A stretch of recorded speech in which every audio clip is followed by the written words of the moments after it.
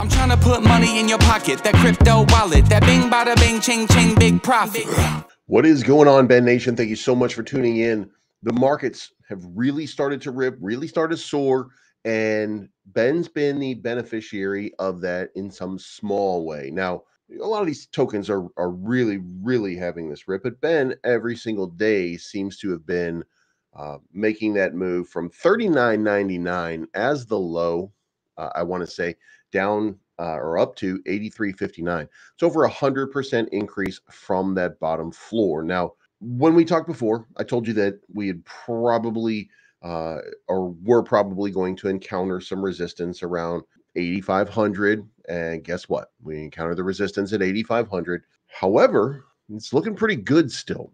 Uh, and we're, we're still awaiting, you know, some kind of um, something uh, as a catalyst that will move things along. And that's coming very soon. So if you like this content, make sure, by the way, that you hit the like button, subscribe button, and the bell to be notified. But let's check it out and let's see what the charts tell us and uh, see where we are. So as you can see, we've had that move. Uh, these are the old lines that we put up here a long time ago. Uh, it looks like we're sitting in the perfect spot. Look, the next level of resistance is going to be dropping that zero. So very soon there's going to be a party to drop the zero and it'll come out of nowhere uh, and it won't take very long by the way. It's gonna it's gonna uh, it's gonna really really really uh, start ripping from there. So uh, looking forward to seeing that happen. Uh, on the broader chart over here you can see we just really kind of touched the 20 ma on the 15 minute uh, zooming out the 30 minute you can see right here again just kind of bouncing on that 20 same thing for the one hour. Uh, what we're not looking to do is fall down into some of these lower time frames here, or the 50 or the 100. I mean, uh, and then on the 40, uh, four hour, this is where the retracement comes into play.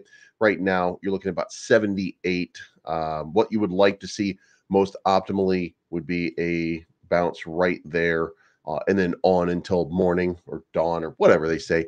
Uh, then uh, you're looking at one of those next highs up here around 10, 888, somewhere right in this range right here is where we just wicked off of, if you will. Uh, and then the next range is going to be right up in this little zone uh, of uh, about 1100, four zeros, 11 uh, is going to be about the range that we're looking to to hit into the next time we we do this. So hopefully this continues on. Feels like it's going to continue on. And in fact, news wise, which I still can't share, uh, but we're getting close. Uh, but news wise, there should really be some kind of uh, catalyst that's going to take us up and propel us to this range. Now, what we're really looking for, at, at a very minimum, I think for for most people, is about a thousand points from where we are right now as a good start for to make people feel better because that's going to be kind of where we were when we launched, right? Because right now we're trading at uh, five zeros, 8365, but up here it's four zeros, 1959, 19519.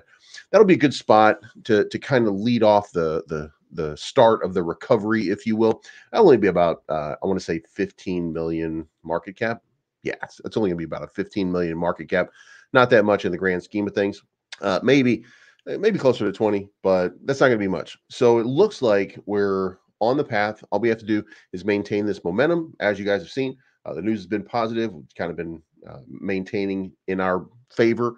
So, you know, we should see something pretty good uh, over on Join Ben Coin. Uh, no announcement yet, but we're waiting for that next move.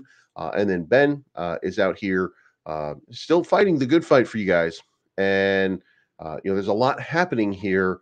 But of course, there's a lot happening in the new network. Now, the, the one thing that we want to address in closing is this Ben made a post now uh, because we were talking about this before. I was told by multiple people at Hit Network that they returned my bearded dragon Gary to the pet store he was bought from.